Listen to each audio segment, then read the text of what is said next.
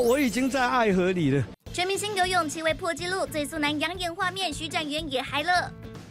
选的方向哦，第一就是协调性、敏捷吗？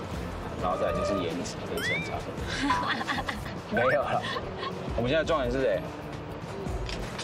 壮壮哦，不是。波哥第一次选人会不会紧张？我超紧张的，对啊，我只有选过飞，没有选过人。逼出太多的经典金句了。全明星第二集测试赛项目包括跳远、游泳五十公尺、折返跑以及十二码足球，其中啊男子跳远出现两位空中飞人，皆以五米七零成绩并列第一。夏普阳，奋勇冲刺。成绩五米七零。哇！好，接下来是张家生。哇！成绩五点七零。因为我原本的脚受伤，所以我就改改换脚的跑车。可是杰哥，我们两个也去跳一跳。我觉得可以耶。现在吗？我赌一百，杰哥会赢。大概两米吧。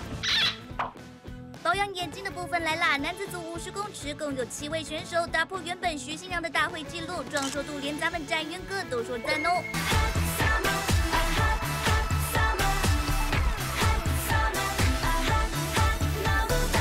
我已经在爱河里了。这组然后破纪录，对不对？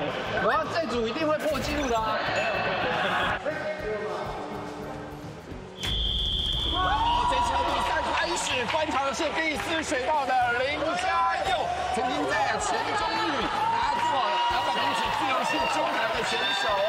林家佑这个速度真的非常快，一转眼睛游了一半了，只剩下最后的十公尺的冲刺。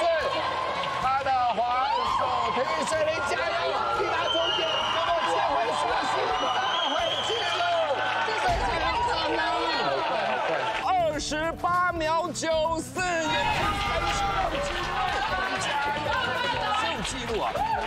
徐新阳快了九秒一二，比林颖乐快了四秒八一，总共七位破了男子组徐新阳保有的旧的大会纪录。我自己的目标其实就是破自己以前的记录，花了一些时间训练，对，大概一个一个一个多月这样，因为我没有测过这么这么这么快的成绩，最快就是这二九二十九秒四五，我也吓到了。